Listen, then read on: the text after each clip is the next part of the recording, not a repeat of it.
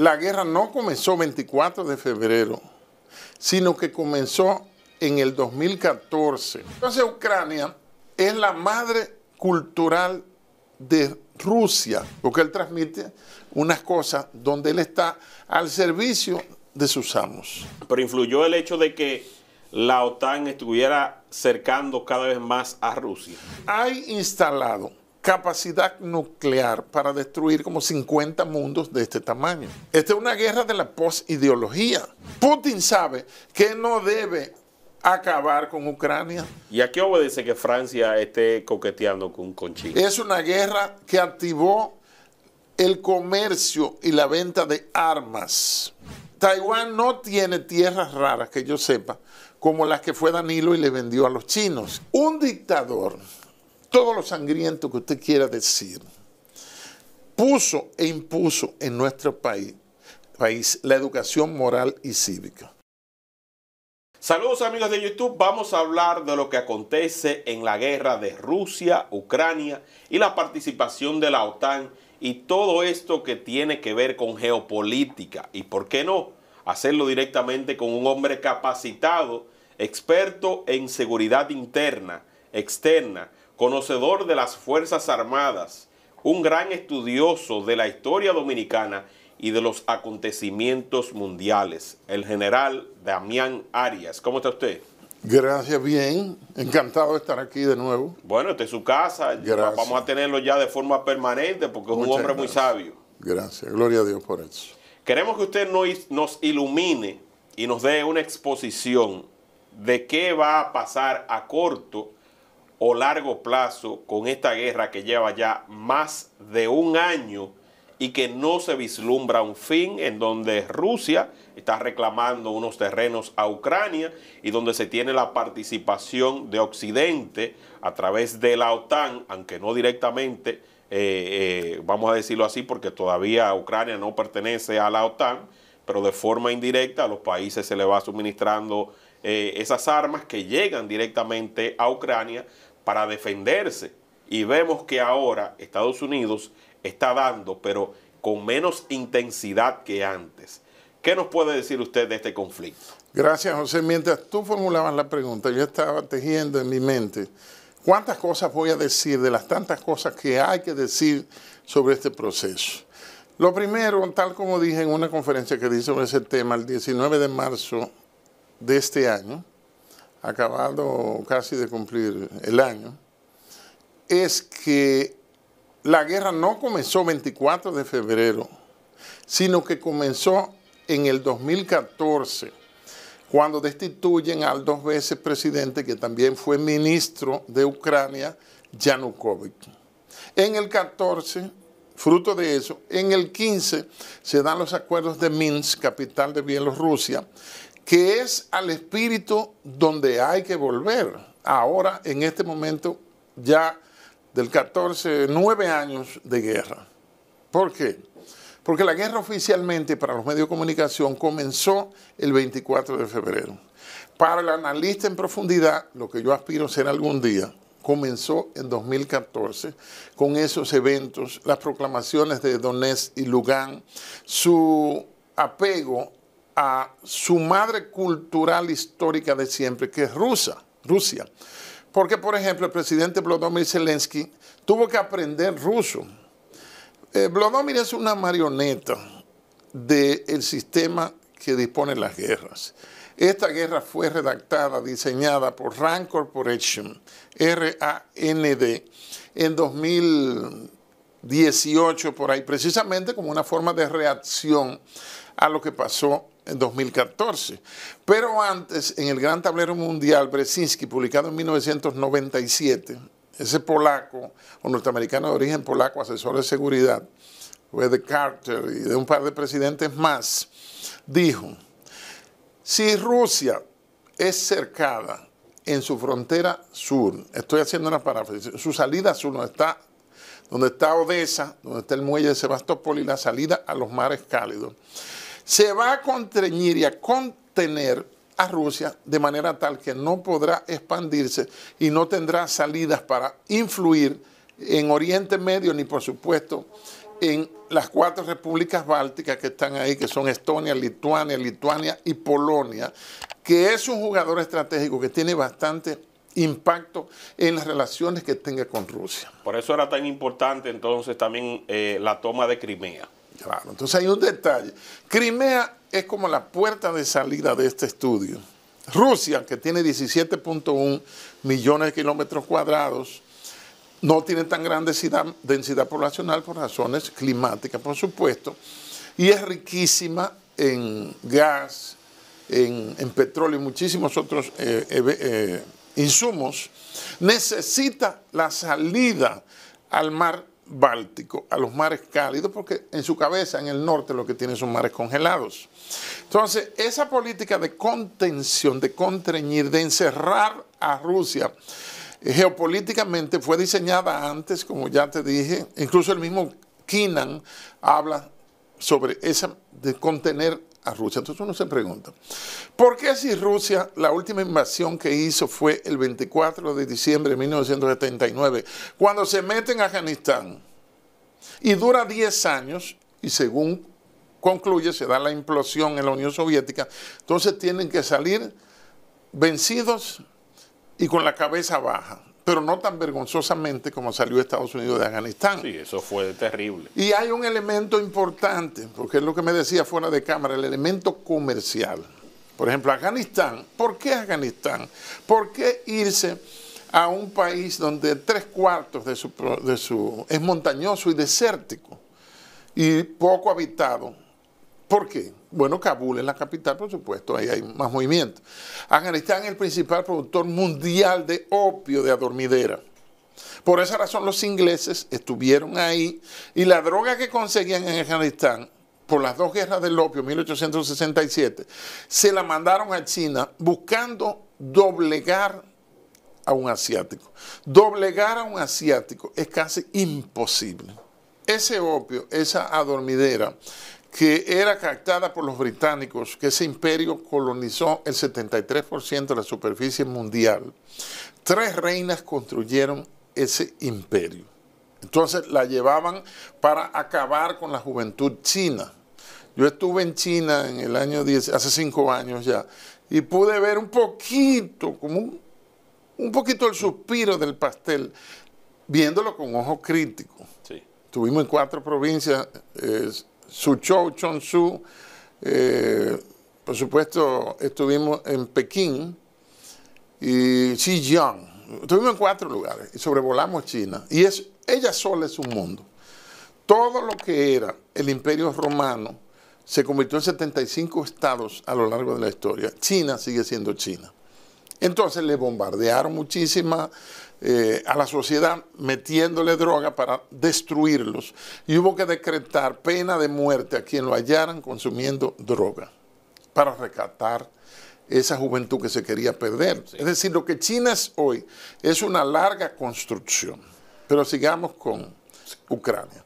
Entonces Ucrania es la madre cultural de Rusia, porque la primera ciudad rusa es Kiev capital de Ucrania. En el año 862, un señor llamado Oleg Nagorov logró unificar los pueblos eslavos del norte y los del sur. Y entonces es la génesis, pero hay 1130 kilómetros desde Kiev hasta Moscú, que está en el centro prácticamente. Por eso tiene un clima tan difícil, por eso el presidente Putin, que está designado hasta 2035, impulsó la ciudad de Sochi, que es su ciudad favorita. Está la ciudad de San Petersburgo, por, por Pedro el Grande, el, emperador del imperio ruso. Entonces, en esta guerra hay demasiado problema.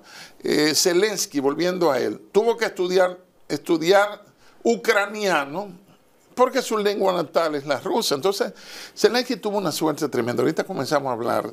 ¿Por qué tuvo suerte? Oiga, porque esto es demencial. Zelensky, usted puede ver los vídeos en YouTube todavía. En uno él sale con otro cómico, con los pantalones abajo, supuestamente golpeando con el pene unos xilófonos, unos pianos, haciendo una comedia. Entonces, lo contratan para hacer una película un señor que es un magnate allá, Kolomoski, muy reconocido, sabe que Ucrania lo consideran el país más, más corrupto de Europa. Entonces lo contrata para hacer una película cuyo argumento es un cómico que aspira a ser presidente y alguien lo patrocina, se da a conocer en los medios y llega presidente. La película se convirtió en la realidad. En la realidad. Entonces usted ve que Zelensky sale siempre con un polochecito. Incluso con los fríos de diciembre o noviembre, estaba en la Casa Blanca con ese atuendo. Eso tiene una simbología. Unas, claro. ¿Qué él quiere transmitir? A sin duda tiene una, o sea, ¿qué lo ponen a transmitir a él? Porque él transmite unas cosas donde él está al servicio de sus amos. Dicho en términos sencillos. Entonces, ¿qué pasa? Rusia necesita la salida a mares cálidos. Kiev, capital de Ucrania, es la primera que significa, Ucrania significa Ucrania, la marca, como la raya, la frontera.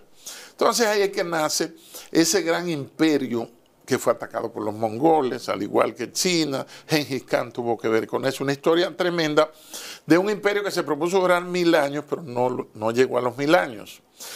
Hay mucha gente que cree que Putin es comunista. Señores, ni Xi Jinping es comunista. Porque si ellos no abren el mercado como lo han hecho, no llegan a precisamente donde triunfó la globalización, fue en China. Porque Rusia no tiene esa gran infraestructura industrial que tiene China. Ni tecnológica tampoco. Y tecnológica. Entonces China no se pierde nada. En China yo creo, es posible, porque yo tuve nueve días allá, yo no vi ningún cementerio. Parece que hasta los cadáveres le dan un uso. Parece que no se pierde esa carne y esos huesos. Es una conjetura Suya. media cruel que estoy haciendo. Y hemos comido chofán y chochuy y todas esas cosas. Entonces, eh, siguiendo con Ucrania, Ucrania logra su independencia el 14 de agosto de 1991. O sea, hay que ver cuál Ucrania estamos hablando. Si estamos hablando de la Ucrania fundacional, madre en gran sentido la cultura rusa por los trabajos de Catalina la Grande de Prusia, que mencionaba a Ucrania como la pequeña Rusia. O si estamos hablando de la Ucrania soviética o estamos hablando de la Ucrania post 14 de agosto del 91, que ellos, porque cuando hubo la implosión de la, y se desarma la Unión Soviética por, por cuestiones internas, si es una explosión, es un ataque externo. Una implosión es el mismo sistema que ya no puede sustentarse más, o le dijeron los amos, ya, paren eso, se acabó esa cosa. Pero influyó el hecho de que la OTAN estuviera cercando cada vez más a Rusia. Eso llega después, porque en un gesto quizás de ingenuidad, eh, Rusia le pidió, porque Rusia estaba en manos de dos personas, un decadente que es eh, Gorbachev y un alcohólico que era Boris Yeltsin, porque Rusia como país era la principal y la cabeza y centro político, como tú sabes, de la URSS, de las 15 repúblicas soviéticas. Entonces quedaron 40 millones de soviéticos fuera de las fronteras rusas. Hubo un vacío de identidad, una identidad construida, porque los países que tienen esa fortaleza identitaria, cuando se dan esos cambios geopolíticos, esos cambios tectónicos tan graves, esos movimientos telúricos de las capas geopolíticas, hay gente que quedan mareados, como locos. Entonces, había que reubicar a esa gente. ¿Quiénes más se quedaron? Bueno, Ucrania se quedó fuera. Pero en Ucrania, Estados Unidos tiene cerca de 30 laboratorios de biotecnología. Aquí hay un laboratorio de biotecnología. De Estados Unidos también. No es de Estados Unidos, pero fue, asumo yo que fue sugerido. Incluso yo fui, yo fui jefe de seguridad ahí cuando capitán. ¿Cuál es ese? ¿El que está en Bonao? No, uno que está aquí en la Núñez de Cáceres. Okay. Que es adscrito al Banco Central. ¿Qué tiene que ver un banco con, con, biotecnología? Eso lo dejaron como calladito y le cambiaron como el nombre. Eh, Ucrania Vamos a ubicarnos nada más del 14 de agosto del 91 para acá. Y su participación. ¿Qué pasa? Que sin tener un mapa, aquí abajo que está la salida, porque las puertas de salida están en los extremos, por supuesto. para accesar a Crimea, que es eminentemente rusa, al igual que Ucrania, fue necesario hacer un plebiscito. Para los medios occidentales fue que lo anexó Putin. Una anexión amañada. Que para mí es el mejor estadista que hay ahora mismo, Putin. Putin. Claro. Usted venera a Putin. No, no es que venero, es cuestión objetiva. Es estadista. No estoy diciendo político, ni líder, ni presidente. ¿Usted no lo ve como un genocida? No, jamás, jamás. Incluso Rusia está siendo asediada. Ahora se agregó Finlandia, que tiene 1.340 kilómetros de frontera con Rusia, con Rusia. Está Polonia también y esos 31 países de la OTAN. Estados Unidos paga de los 400 mil millones de dólares anuales que cuesta la OTAN, Estados Unidos paga el 70%. Por eso no sé si recuerdan una cumbre de la OTAN, creo que en el 17, eh, el presidente Trump le dijo, ustedes tienen que pagar su cuota como miembro de la Sí, OTAN. recuerdo eso. Incluso empujó uno de ellos, uno de Ustedes esos tienen que pagar su seguridad, le dijo. Y el último que se alista, pues fue, pues fue Finlandia. Eso tiene un elemento importante. ¿Por qué? Porque la OTAN, que es fundada en el 49, el tratado militar más antiguo es el TIAR, del mundo, de este mundo post Segunda Guerra Mundial, que es el TIAR, Tratado de, de Tratado Internacional de Asistencia Recíproca. ¿Qué principio tiene? El que golpear uno de los Estados miembros es golpearnos a todos los miembros, como el principio de los tres mosqueteros, Sí. que eran cuatro. Entonces, eh, si se golpease a Finlandia, que hace frontera 1.340 kilómetros con Rusia, si se golpease Polonia, que también hace frontera, y ha sido históricamente enemigo de Rusia. Fíjese que en cuestiones del siglo XIX, por ejemplo, hubo el establecimiento del imperio austrohúngaro. Se ha buscado siempre, y Polonia ha sido un país pivote que ha tenido un peso eh, un peso importante en la región. Son jugadores que tienen su peso regional. Ahora, los países escandinavos, Noruega está metida en la OTAN, Suecia, eh, Suiza y la misma Finlandia, me acordé de cuatro, están metidos en la OTAN. Entonces ya eso, con ese asedio que hubo colocando bases en la parte sur de Rusia, una especie de cerco, a Putin no le quedó más remedio que invadir, aunque él lo llama eufemísticamente una invasión, invasión no, él la llama operación militar especial. ¿Por Entonces- qué él utiliza ese término? Bueno, es una forma de suavizarlo de invasor. Porque hay un detalle en un video que yo subí en mi página como ocho meses. Ahí yo decía, la tesis de que la gran víctima es Ucrania. Porque Ucrania está siendo víctima de los intereses. Por ejemplo, China, la guerra comenzó el 24, pero el 14 salió la última barcaza con tierra negra ucraniana para China, porque China es una tierra arenosa, solo un 7% cultivable. En esta guerra de Ucrania, que es la primera guerra híbrida, la primera guerra de la posverdad, donde se, está peleando en muchos frentes, fíjese que Putin amenazó con derribar los satélites de la OTAN que ubican el movimiento terrestre de las tropas y de las bases rusas. Entonces, ahí la verdadera víctima es Ucrania, que es impensable, históricamente improbable, analizado por la doctrina y la se llaman las capabilities, las capacidades que tiene un país enfrente a otro. Es imposible que Ucrania gane. Ahora bien, ¿qué se ha hecho?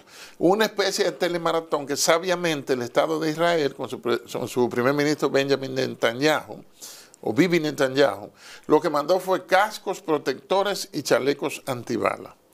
Pero la primera ministra del Reino Unido, que siempre tienen una inquina tradicionalmente con Rusia, eh, dijo hace una semana aproximadamente que iba a enviar proyectiles con carga de uranio empobreci- empobrecido, que eso causa cáncer y deja un paquete de secuelas, no solo en la población, no solo en los soldados, sino también en la población. Para utilizarlo en contra de los soldados rusos. Claro. Entonces, el, ¿cuál es el, el- el- el- dilema con Rusia? Que Rusia no puede descargar todo su potencial armamentístico porque Rusia es la primera potencia armamentística. Porque el hecho de que usted tenga cinco bombas más que otro país, que son capaces de destruir un mundo, eso no es una ventaja. ni siquiera es disuasoria. Pero Rusia tiene armas hipersónicas que China, no, ya China las tiene, pero Estados Unidos no las tiene. Misiles intercontinentales. los ICBM, ICBM, está el Kinshal, que significa daga, está el Sarmat, que significa Satán. Tiene submarinos drones, submarinos robots, que pueden ser operados con carga nuclear indetectables por los radares de última generación que tiene Estados Unidos.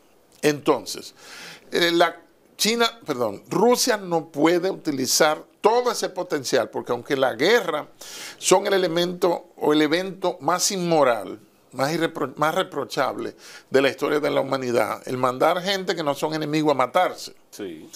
Dice una frase por ahí que dice, unos viejos que no son enemigos mandan unos jóvenes que tampoco son enemigos a matarse. Entonces, y, Rusia, Ucrania aportando la sangre eh, y Estados Unidos dando la sangre. Exacto. Entonces Estados Unidos tiene ahí, de los 34, tiene unos 25 o 27 laboratorios de biotecnología. Eh, eh, Ucrania es una potencia agrícola porque tiene esos enormes llanos y esa producción agrícola y esa tierra negra de esos llanos de Ucrania. Y Rusia es uno de los principales eh, fabricantes de, pesticidas y de fertilizantes. O sea, hay dos elementos importantes. A mí me dio cierta risa doliente, cuando tú te ríes que te duele, cuando el señor presidente dijo hace un tiempo que la guerra en Ucrania había afectado la economía dominicana porque eh, los productos, el principal productor de grano y esas cosas. Yo nunca he visto en un supermercado, en un colmado, ni en un ventorrillo, una comida que diga made in Ucrania, que diga hecho en Ucrania. Nunca yo he visto eso. Nunca. Bueno, pero a lo mejor compran las grandes cantidades de trigo y demás y esas empresas entonces los revenden a Estados Unidos y otras fronteras. Sí, porque eso y llega, pasa. Y llega aquí a través de esa. Pasa por varias manos. Por ejemplo, la Bayer es una compañía alemana líder mundial en eso. Pero hay otra, Monsanto, por ejemplo, que es de capital multinacional, porque ya eso de que eso es japonés, no. Incluso la Honda, la Honda, esa compañía tiene muchos inversionistas, hasta turcos, y los judíos también están, los israelíes metidos ahí. Entonces, eh, ese flujo de suministro que se vio afectado por la pandemia de esos dos años prácticamente, pues tuvieron necesariamente un impacto en la agricultura. Y se paró porque después del acuerdo se permitió entre, entre Rusia y Ucrania, se permitió que, se pudieran sacar los cereales, o sea que ya ahí esa parte eh, tiene que ser descartada porque el flujo continuó precisamente para aliviar los mercados mundiales. Exactamente. Entonces, la gran, sigo con esa tesis, de que la gran víctima es Ucrania, porque Rusia no debe, Rusia puede sobradamente vencer militarmente a Ucrania, pero Ucrania supuestamente quiere vencer a Rusia.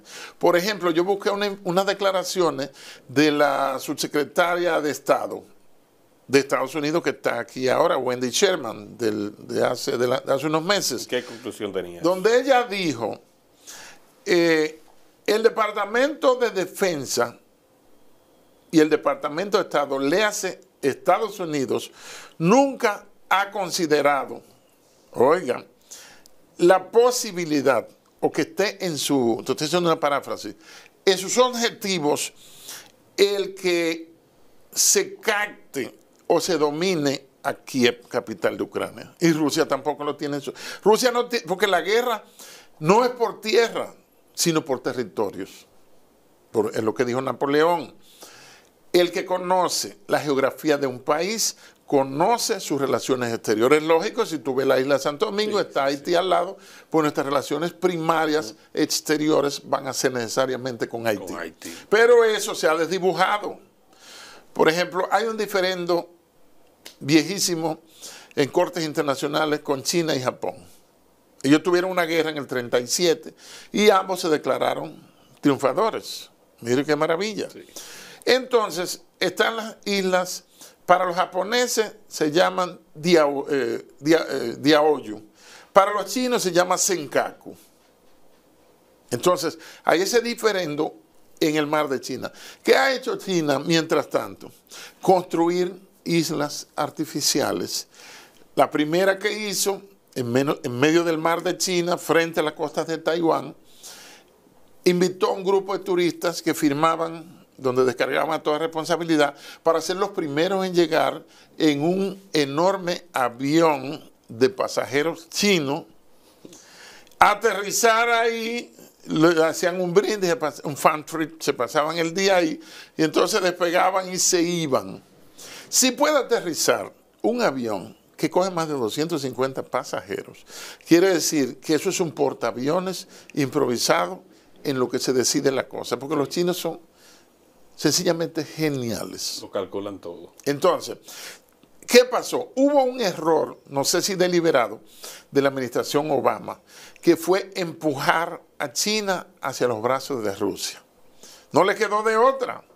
Incluso Trump y puso a Red Tillerson, amigo de, los rusos por el tema de las plataformas eh, petroleras, lo puso el secretario de Estado, y hubo una especie de amorío, si se quiere, de respeto mutuo en la palabra, que debe haber entre potencias que pueden decidir la supervivencia o no de la civilización, porque hay instalado capacidad nuclear para destruir como 50 mundos de este tamaño.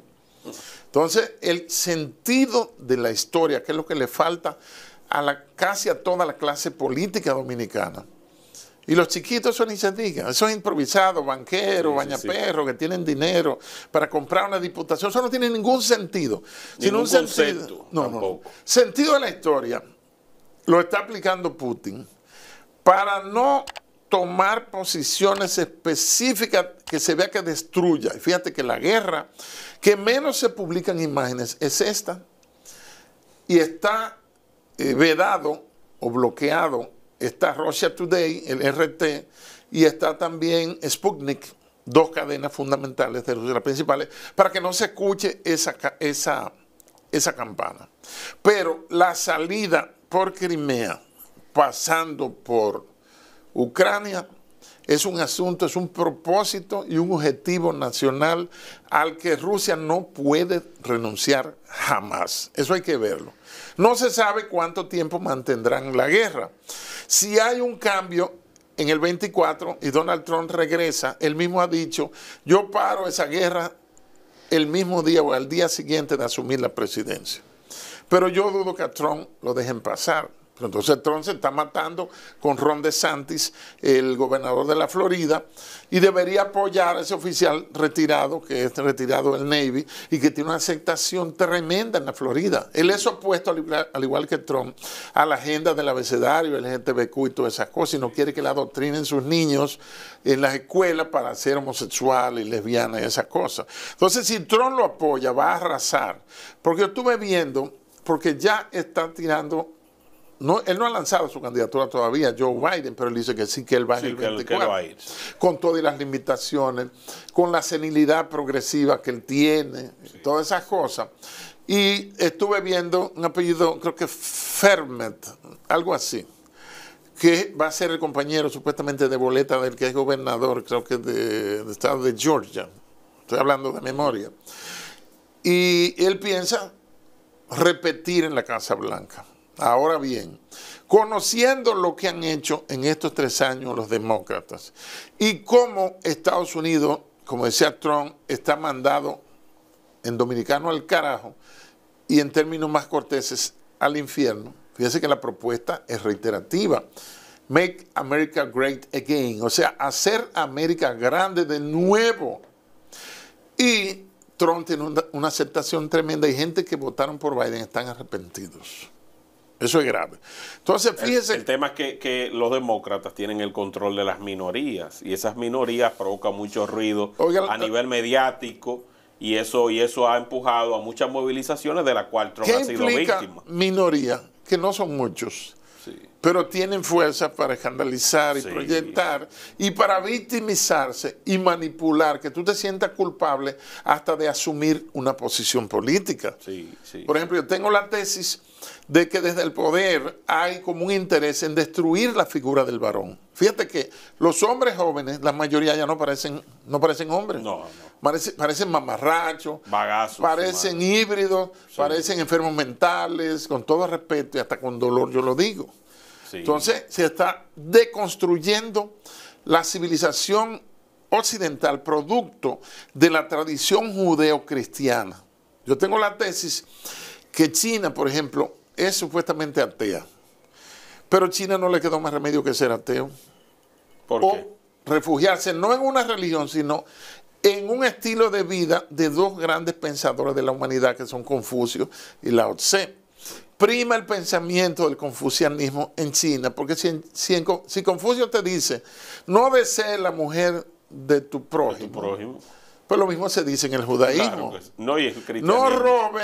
En, China yo vi en un parqueo, no sé si en una fábrica, unos carritos rojos eléctricos como el tamaño de ese sofá, como de 84 por 75, no sé, 80 y algo de pulgadas, eléctricos todos, todos rojos Vi a la salida de una factoría, de una factoría como uh, mil bicicletas.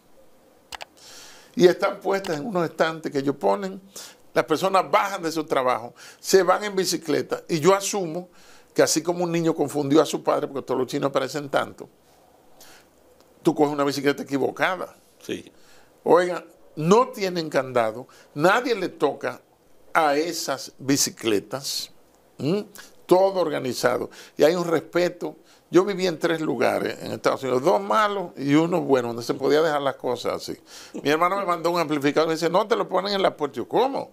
Yo salía del colegio en Washington a las 4 de la tarde. Cuando llego, Ahí, está. No, porque eso es un delito federal. Nadie le Utilizar, eh, ponerle la mano al correo, a la correspondencia en Estados eso es grave. Eso es grave y automáticamente conlleva cárcel. Sí, sí, sí. Que se roba un paquete, eso, es, gravísimo. claro que sí. Entonces, volviendo a Ucrania. Ucrania, lo que hizo, es una tesis descabellada que yo tengo, lo que hizo Putin fue abrirle la puerta a la OTAN, dando el casus belli, el motivo, la excusa de guerra, el casus belli en latín, para que ellos asediaran ahí, comenzara una operación militar o una invasión. Culturalmente no hay invasión, históricamente no hay invasión, civilizatoriamente no hay invasión. Pero a nivel militar, económico y hasta de filiación política hay invasión. Pero eran terrenos que ya no estaban bajo el control de, Rusia. No, porque salieron de la Unión Soviética, como te dije, el 14 de agosto del 91. Entonces, al asumir esa independencia, no, terrenalmente, con el nuevo gobierno de Ucrania no le correspondía. Sí. pero, que, pero ¿qué podemos esperar, general, de esto? Fíjese, habría que ver cuáles serían los escenarios posibles. Fíjate, retomando el tema, antes de pasar ahí, el tema de los, de los, de los objetivos. La última batalla que se está librando hace como 10 días, la de Bakhmut, se peleó en Gerson, donde nace por ahí el río Dnieper, y entonces hacia el este, que es la parte más rica de Ucrania, está en el este. Entonces, son posiciones de combate. Hay otra, un nombre redado que no me acuerdo, me acordé de Gerson y de, ah, está Zaporilla también, donde está la más grande planta nuclear de Europa. Ojo, porque esos zares que hubo, por decirlo, los, los premieres, los primeros ministros de la Rusia soviética, distribuyeron en Kazajstán, Bielorrusia, Ucrania y el otro, bueno, me acordé de tres, está bueno. La mayoría del arsenal ruso de la era soviética. Por eso estaban asediando y le desconectaron la energía a esa central nuclear en Zaporilla. Porque cuando hubo el desastre de Chernóbil, no nos dijeron que era precisamente en Ucrania, en aquella vez, creo que fue en el ochenta y tantos. No, no nos lo dijeron, entonces lo descubrimos ahora que fue ahí. Entonces, el ejemplo es sencillo. Las potencias no pelean, manejando el primer escenario, las potencias no pelean en su terreno continental. Las potencias tercerizan la guerra. Fíjate que ahí está el grupo Wagner, porque Estados Unidos, Rusia y Reino Unido son los tres principales eh, países que tienen compañías de guerreros a sueldo, de los mercenarios pagados. Entonces el grupo Wagner, una forma de tú mantener una cierta cohesión en un, en un grupo es crearle algún logo, un lema, un himno y una especie de ideología. Esta es una guerra de la posideología. Ya no es la guerra de los tiempos de la Guerra Fría. Entonces, las grandes potencias, como le dije, no pelean en su territorio continental, sino que toman escenarios. Por eso usted ve que Rusia tiene como cuatro bases fuera de, territorio ruso. Tiene una en Tartus, Siria, cuando intervino para evitar y para sostener a Bachar al-Assad, que desde 2011, hace 12 años, lo quieren tumbar y no han podido. Entonces, tiene uno en Afganistán también, no me acuerdo el nombre, son como tres o cuatro bases, pero Estados Unidos, entre bases y, organismos o dotaciones secretas, tiene entre 650 y 750 bases alrededor del mundo. Por ejemplo, Alemania, que siempre han buscado mantener un eje de distensión entre Alemania y Rusia, que sean enemigos no lo quieren aliado. Durante el periodo de Angela Merkel, las relaciones, ella visitó como tres o cuatro veces a Putin, fueron fluidas, transparentes y bastante edificantes entre Rusia y Alemania, que tienen muchas cosas. Que ahora entonces, ah, sí, pero ahora entonces está en conflicto porque Alemania está aportando los tanques de, guerra, eh, los famosos Leopard. Leopard. Alemania está en el suelo. Alemania era hasta hace un año el motor económico de Europa. Y, su economía está en el suelo porque Europa, que es un país lleno de envejecientes, porque el tiempo nos va pasando. Entonces no hay una renovación y ya son personas que no pueden engendrar, no pueden asumir un embarazo con 60 o 70 años de edad, es imposible. Entonces, ese motor económico de Europa, la locomotora de Europa, que era Alemania, ya está off. Incluso el primer ministro Olaf Scholz, que relevó a Angela Merkel en cuatro periodos, 16 años al mando, esa canciller hay que recordarla. Claro que sí. Por esos niveles y esas cosas. Y ese manejo estratégico, ese era un estadista. Porque hay muchos loquitos que han llegado al poder, pero no tienen una visión histórica. Putin sabe que no debe acabar con Ucrania, ni hacerla intransitable, por ejemplo porque hay un sentimiento histórico de hermandad y de origen, si se quiere, de padres. El cordón umbilical de Rusia se sembró en Kiev, primera ciudad rusa, capital de Ucrania. O sea, son detalles que hay que, verlo. Que hay que ofrecerlo. No se puede ver en blanco y negro que este es un desgraciado y que estos son santos. No, eso no ¿Y qué va a pasar? Porque vemos a Estados Unidos ahora con un flujo menor de efectivo y vemos a una Francia que en principio estaba apoyando a Occidente, que de repente visitó a China. Macron como que se quiere virar. Y escuché, no lo he confirmado, que, la, que Giorgia Meloni, la nueva primera ministra italiana, se está alineando con China, porque es que el mundo se está desplazando. Así como en 1648, por el Tratado de Munstrut y Osnabrück en Alemania, hubo una Westfalia, 1648, donde lo principal que hace es poner fin a la guerra religiosa. El que quiera estar bajo el influjo del Vaticano ser católico o el que quiera estar bajo el influjo del protestantismo. Entonces, ahora hay una isfalia en cuanto a que el mundo está mirando hacia Oriente. ¿Por qué? Porque son países que tienen estabilidad política. Otra cosa, el oriental puede proyectar el, término largo, el long term, el largo plazo. Porque en Occidente son cuatro años y por eso usted ve que ya los dos meses de haber asumido ya están en campaña nuevamente, a ver si siguen. Y lo primero que piensan es ver cómo permanezco. Y ya se me está acabando los cuatro años, ¿cómo puedo seguir más allá de los cuatro no hay años? Esa, continuidad. Entonces Xi Jinping, que no se había dado desde Mao, en el vigésimo Congreso del Partido Comunista hace unos meses, fue designado presidente para un tercer periodo. Porque si ellos ven que lo está haciendo bien, porque no hay voto directo. Claro, eso pero se reúne la, la, cúpula del Partido pero Popular. Pero en Estados Unidos tampoco hay voto directo. Es son colegiado. 500 personas que son los que dicen quién va. Y ya.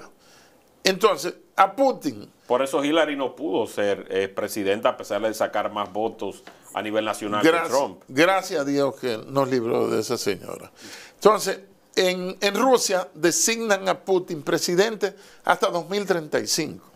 Ya él tiene 70 años, lo cumplió hace poco, creo que ahora en marzo. Entonces habría que ver para 2035, faltan 22, 12 años.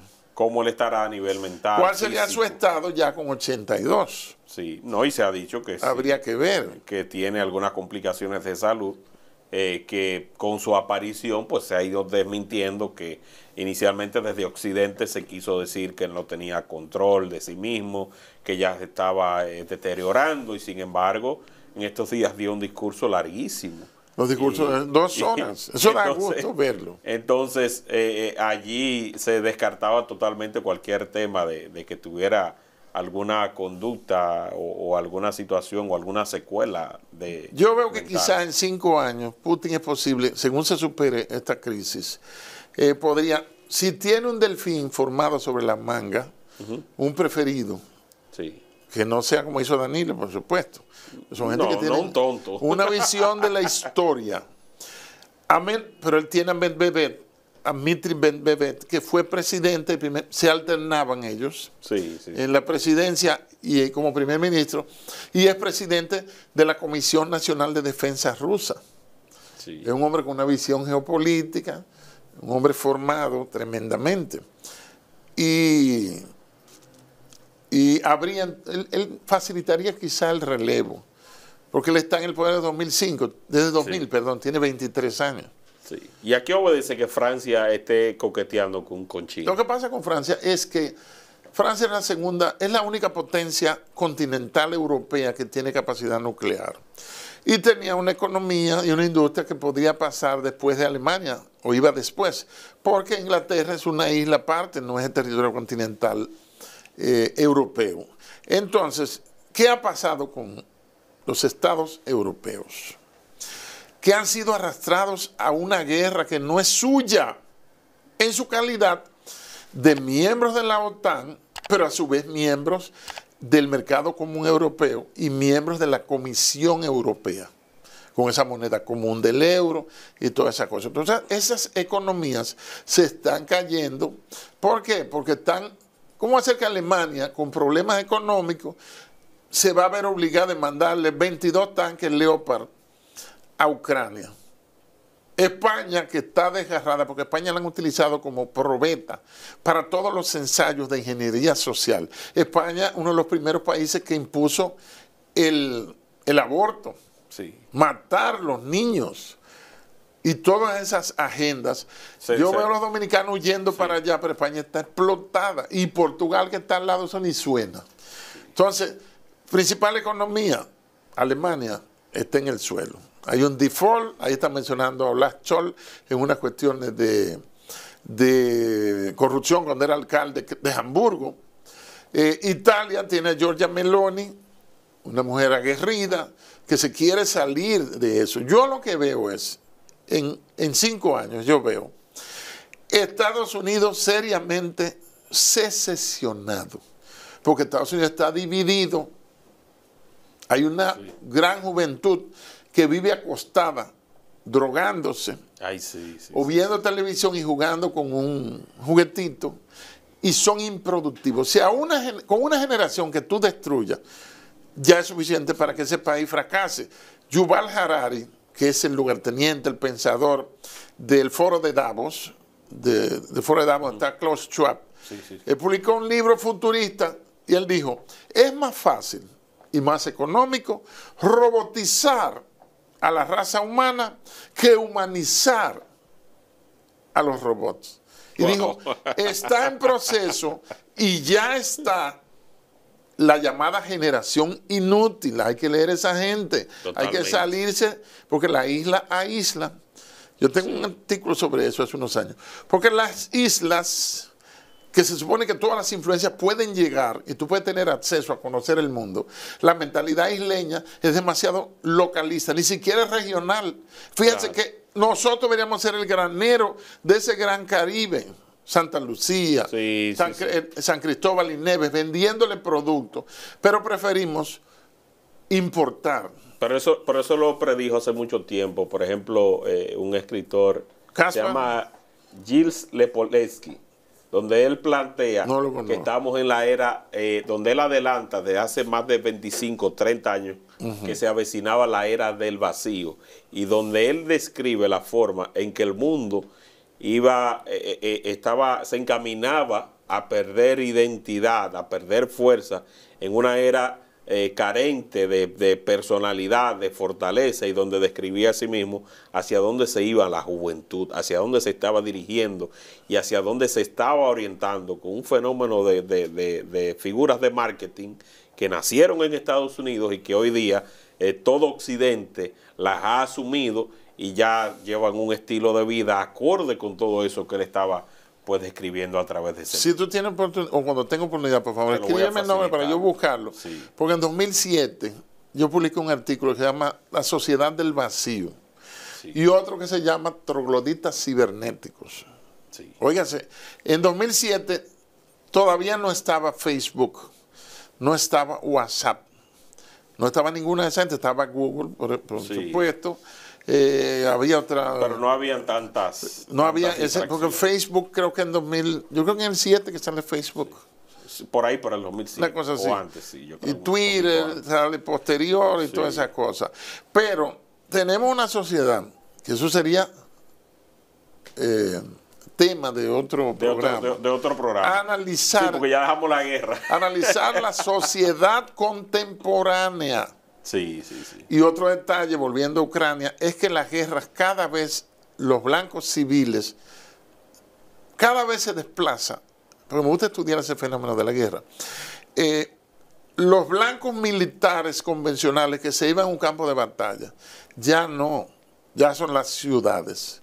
Estaban criticando eh, el que Rusia supuestamente, o dicen que atacó, porque casi no salen imágenes, un hospital lo que pasa es que los ucranianos se establecieron con unos snipers, con unos francotiradores, en un hospital donde había personas. poniendo en riesgo que cuando hubiese una respuesta, eso atrae, eh, eso, hacia ellos. Entonces, ya en caso de que fuesen atacados, tienen una ganancia de causa a nivel internacional. Sí. no ahí cómo destruyeron ese hospital. Sí, sí, sí. Y de, este, de esta guerra hay que sacar muchas lecciones. ¿Cuántos muertos van? ¿Cuántas bajas van? No, de parte y parte. Lo menos importante son las bajas, por eso yo no me he aprendido. ¿Cómo que no? No, no. Esa parte humana. Oiga, suena inhumano, suena inmoral, pero la guerra no le. Oiga, los muertos no le interesan a ellos. No, esta guerra no es por tierra, es por territorio, por su ubicación estratégica para Rusia. Es una guerra que activó el comercio y la venta de armas, ¿verdad? La tercerizan con mercenarios. Y podríamos decir un quinto aspecto, el que las potencias no pelean en sus territorios continentales. no se sabe cómo construir un escenario a corto plazo, cuál sería la salida de, esa crisis, de esa guerra. ¿Y hasta dónde Estados Unidos podrá financiar esa guerra? Porque en principio eran mil 1.200, 1.300, en una oportunidad casi 1.900 millones de dólares. Los ciudadanos no quieren eso, ese dispendio, pero ¿qué pasa?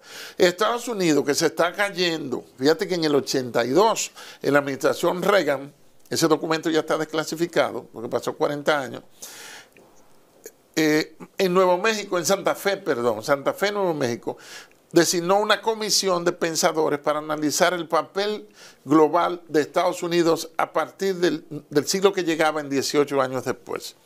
Y eso se llama Santa Fe Report o, Santa Fe Paper, que es las 9D, donde ellos mencionan nueve términos, nueve situaciones. Hablan, por ejemplo, de deuda, droga, déficit, desertificación, hablan de desindustrialización, que eso acabó.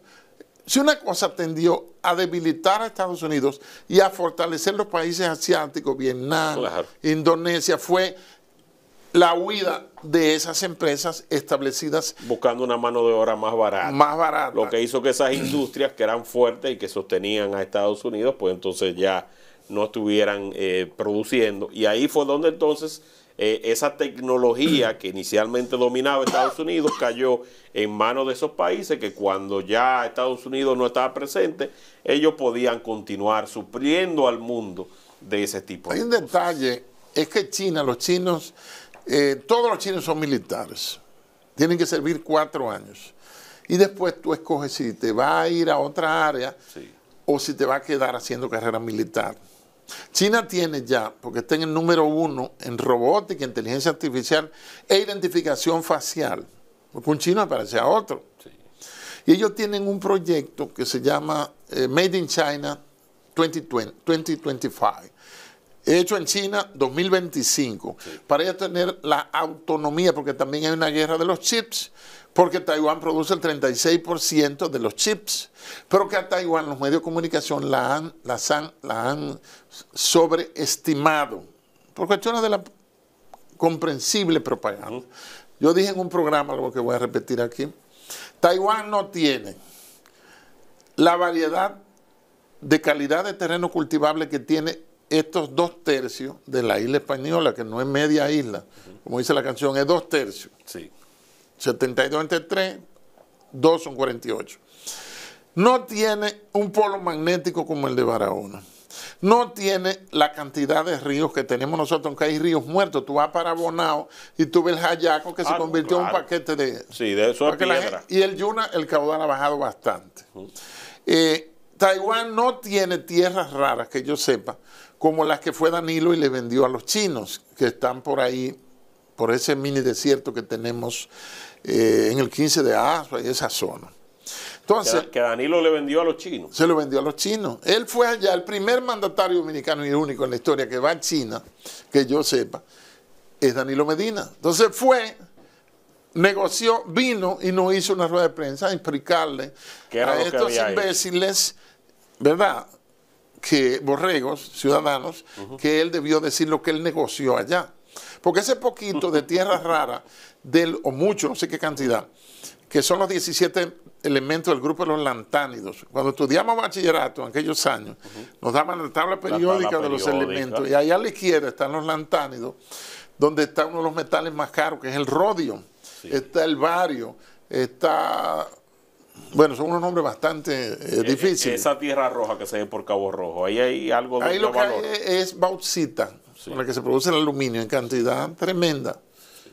Porque la, compañía que estaba ahí, Alcoa, creo que se llama, terminó eso ahí, dejó esos hoyos colorados, pero ahí hay un valor terrible. Incluso había una gente que se la estaban llevando sin autorización hace unos años. Se hacían los locos que montaban de esa tierra roja. Sí, se la llevaban y nadie lo reclamaba. Y se la, nadie sabía lo que estaban vendiendo. Entonces, Ucrania es un reto, es la primera guerra híbrida, es la guerra de la posverdad, es la guerra donde se cumple el dicho de un pensador inglés que dice, en toda guerra la primera víctima es la verdad. Eso está pasando en Ucrania y da trabajo uno como dibujar algún escenario. En Washington, cuando estaba allá, había siete aulas que eran los laboratorios, donde ponían temas diferentes. Y a veces a mí me buscaban para, como yo soy redacto fácil, he publicado cinco libros y tengo un par de, libros listos, eh, para que yo les redactara los escenarios. Pero este escenario, yo no me he sentado a redactar un escenario de cómo acabará la cosa en Ucrania. En Ucrania. Pero el mundo necesita una guerra. Las potencias y las grandes compañías necesitan que su producto se acabe. Es como el dueño de la funeraria. No quiero que nadie se muera, pero, que mi negocio claro, que mi negocio prospere. Esa es la realidad. Bueno, gracias por esta explicación magistral. Me queda una última pregunta y es la amenaza nuclear. ¿Es latente, es cierta? ¿Estaría dispuesto Putin a utilizar la fuerza nuclear? Bueno, casi no, más bien no tocamos prácticamente ese tema. Fíjese, están las armas convencionales, como tú sabes, armas, tanques, fusiles, pero están las armas estratégicas, como los norteamericanos han querido llamarla, y así la llaman en el acuerdo SAL 2, por ejemplo, en el acuerdo 5 más 1 que se hizo con Irán para frenar en el tiempo de Obama su programa nuclear. Entonces, pueden pasar algunas cosas. Una, que de manera negligente alguien detone alguna bomba, aunque sea de pocos megatones, ya no se habla de kilotones como los 50 que le tiraron a las dos ciudades de mayoría cristiana de Japón, Hiroshima, y Nagasaki, 6 y 9 de agosto del 45.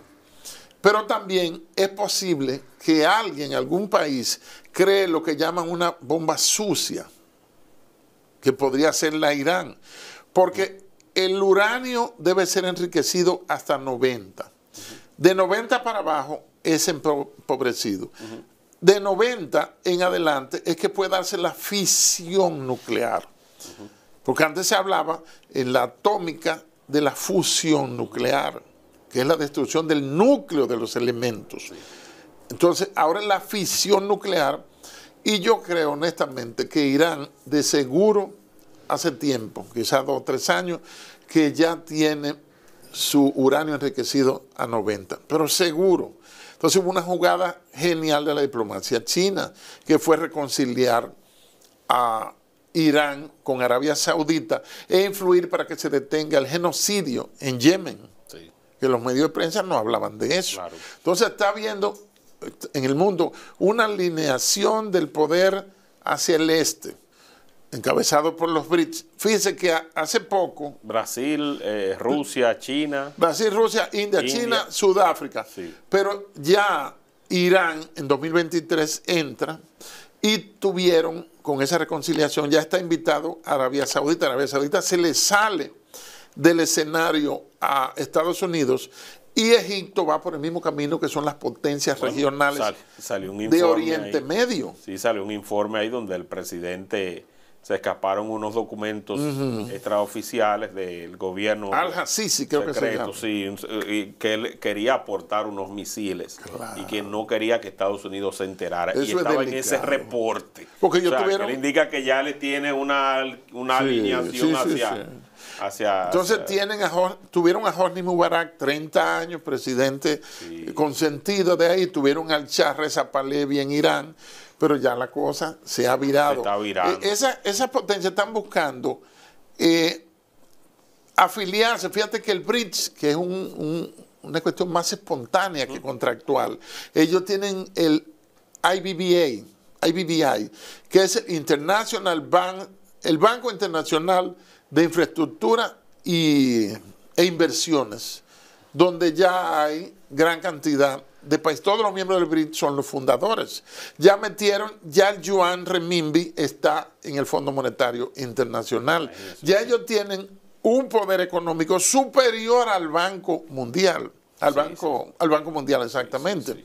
y fíjate que está, por ejemplo, los dos países de mayor población, 2.800 millones, tienen un tercio entre China y, China y la India que están, tienen un primer ministro, Narendra Modi, que es de primera y ha arrancado para adelante. Y, incluso las universidades, el Silicon Valley en Estados Unidos, en California, que es el laboratorio del GAFAT, Google, Amazon, Facebook, Twitter y todas esas cosas, la mayoría de los técnicos, de los ejecutivos, son chinos e indios, son de la India hay unos nombres rarísimos. Sí, es cierto. Y son los CEO y los gerentes de eso, porque esa gente, el occidental se enfoca en la diversión, en la beventina, en el reggaetón, en el teteo y la cuerería.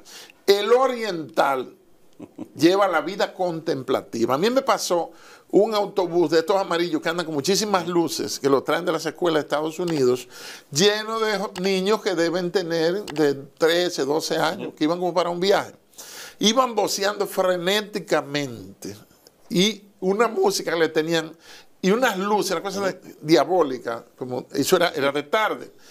Y le digo yo a mi esposa, mira, si esos niños fueran chinos o japoneses, taiwaneses, silencio, de cualquiera de las dos Coreas, estuvieran montados en su autobús esperando llegar. una fila de niños dominicanos. Eso es un desastre. Sí, porque como país hemos perdido el concepto de autoridad. Fíjate, te voy a tirar una caliente al final de despedida. Tírela. Un dictador, todo lo sangriento que usted quiera decir, puso e impuso en nuestro país, país la educación moral y cívica. Un intelectual, años después, que es el único caudillo que le queda al mundo, el único caudillo, al menos al mundo, al hemisferio occidental, quitó la educación moral y cívica y la lectura comprensiva la desapareció porque se quiere estupidizar lo más posible a la población. Sí, sí, sí. Que el concepto que usted pueda pensar, equivocado o no. Por ejemplo, yo fui director de alto estudio en la policía. ¿Cuál era mi problema? Recibir, gradué cuatro promociones, recibir unos coroneles que primero, les era imposible prácticamente estructurar, con sus excepciones, por supuesto, estructurar una idea. Por ejemplo, Haití es una amenaza latente para los propósitos nacionales de la República Dominicana. Eso. Entonces esa idea, pensarla, hilvanarla en la mente y entonces poder digitarla en un Sí, sí, en en un párrafo. ¿Qué tuve que ponerle? Yo le impartía dos seminarios de cuatro horas, uno de pensamiento estratégico, de metodología de la investigación científica, y otro de redacción. Yo le ponía de tarea una página en blanco, ponga su nombre, la tarea inicial, escriba un párrafo. Sí, es. Hubo una clase que un solo fue que lo hizo, un hombre brillante, al que se refirió el mayor que habló del caso, el mayor que habló, ¿cómo se llama? Es Girón. Girón, que dijo que ese coronel era un hombre brillante. Sí. Él que fue mi alumno, yo sé que tiene un caco así. de esa naturaleza. Bueno, general, gracias No por me su pediste tiempo. el nombre. ¿quién? ¿Quién, ¿Cómo se llama? Oye, el coronel de Asa. El coronel Núñez de Asa. Núñez de Asa. Pero ese él tipo. por él cayó preso. Sí, sí, sí, tiene una cabeza. Él está preso todavía. No, no, no, ya lo soltaron. soltaron. Lo soltaron. Bueno. O no se interpreta todavía, porque salió Adán Cáceres. Sí, yo sé que, pero yo creo que él está junto con Robiu y ese grupo que todavía Sí. no ha podido salir, ah, sí, creo sí. yo. Yo creo que está todavía. Yo fui y lo visité hace como ocho meses, seis meses, allá en Qué pena que haya utilizado su, su mente para el mal, entonces. Como dijo alguien que, eh, un abogado en una entrevista en un medio, dijo que este lío de Calamar, la mente maestra que tiene la, la brillantez necesaria es Ángel Lockwell para haber diseñado esa estructura Esa estructura, claro que sí. de hacerse de dinero Sí, de esa manera. relativamente legal. Claro, sí mismo es. Bueno, gracias, General Damián. Arias, por su tiempo. Esperemos que ustedes hayan valorado esta explicación magistral. Compártanla. Sabemos que esto no se va a quedar únicamente como un contenido para los dominicanos, así que esos eh, latinoamericanos, esos europeos que dominan el idioma español, déjenlo saber también a través de los comentarios, desde dónde nos ven y cuál es su número favorito, Damián. ¿En qué sentido? cuál número favorito, cualquiera que número le gusta, para tener un estimado a las personas de una referencia de los que llegaron a esta parte final de la entrevista. El 7, que El es la siete. perfección de Dios. Es la perfección. Así que coloque al final de esta entrevista, si la vio hasta el final y no ha comentado nada, o si ha comentado y desea volver a comentar, el número 7, el número perfecto. Así que gracias. Bye bye.